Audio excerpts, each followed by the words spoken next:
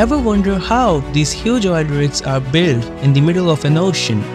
And how is it even possible that a huge colossal structure like an oil rig is not only built in the middle of an ocean but also survives harsh weather conditions and sea storms without colliding. In today's video, we'll dive into the incredible world of offshore oil rig construction and will uncover the marvels of engineering and technological advancements behind it. So keep watching our channel, The Curious Corner.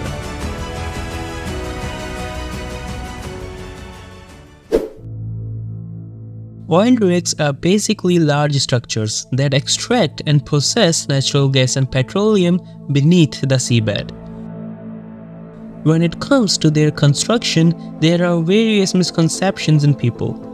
Many people believe that huge walls are built in the middle of an ocean surrounding the place where the oil rig will be constructed and then the seawater is flushed out so the workers can start the construction. But it is technically impossible because constructing a huge structure like an oil rig would be a time-consuming task. Constructing facilities in the middle of an ocean would make transportation of personnel, equipment and supplies more challenging and expensive. Therefore, it would almost take a decade to finish construction and also in case of adverse weather conditions, it could lead to a collapse and loss of lives. Therefore, constructing in the middle of an ocean is not ideal. But how it's done then? The construction of an offshore oil rig is a complex process that involves several stages and those stages depends on which type of oil rig is getting constructed. It can be either fixed platform, floating platform or subsea production system. In all of the types mentioned, the basic stages are similar. The oil rigs are constructed at port cities where ships load and discharge containers.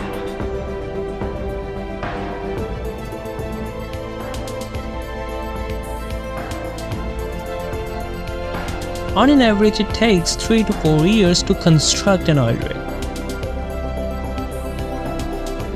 Detailed engineering and design work is carried out to create plans for the offshore platform this includes structural design, safety features and environmental considerations.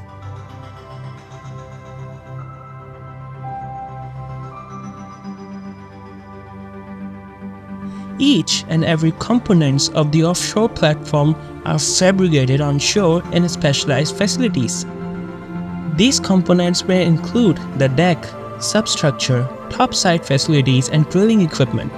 Materials used in the production are often corrosion resistant to withstand the harsh marine environment. Once the components are fabricated, they are transported to the construction site. This may involve using heavy lift vessels or barges, depending on the size of the component.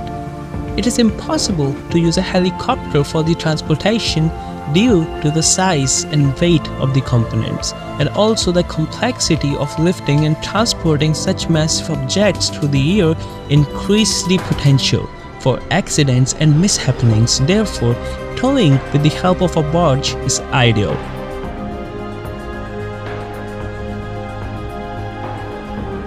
Once the transportation is finished to the designated place in the ocean, the installation begins.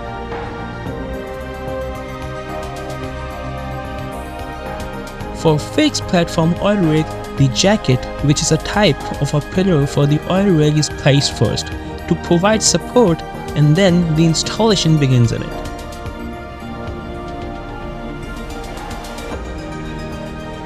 For floating platform oil rig, the hulls are ballasted to float and then are towed to the site.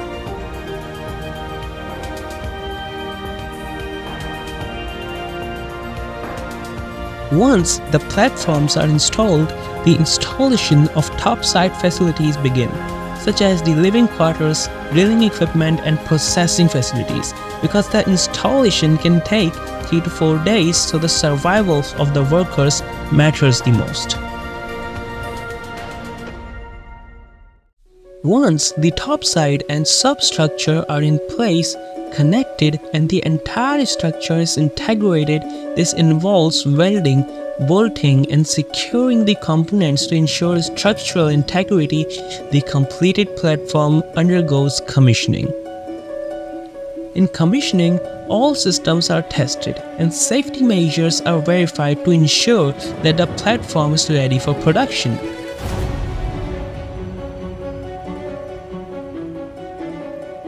After successful commissioning, drilling operations and gas or oil production can commence, and the oil rig is ready to serve its purpose.